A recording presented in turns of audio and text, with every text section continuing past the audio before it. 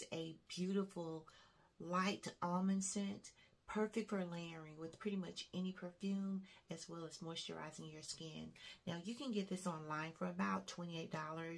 but I got mine at TJ Maxx for 3